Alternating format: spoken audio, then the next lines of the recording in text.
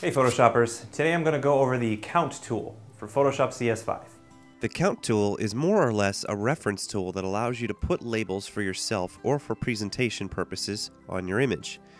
There isn't much more to it than simply labeling pieces of your image. To access this tool, click and hold the eyedropper tool, then drag down to the Count tool at the bottom. You can also access the same tool by pressing and holding Shift, then pressing the letter I until it cycles to the tool of your choice. To label, simply click anywhere on the image you want. Numbers will appear sequentially. You can number as many times as you want, and you can delete each number by accessing your history window, but you cannot move them. You also have the option to manipulate the numbers.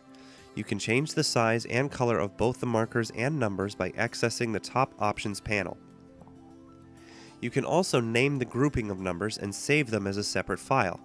To clear all your numbers, simply press clear. To trash a grouping, press the trash can icon. This will only work after you have saved a number group. This also works for the measurement recording option as well. Check out the ruler tool video for info on how to use it. Thanks for watching. Please send any requests to requests at mahalo.com and please be sure to rate, comment, and subscribe below.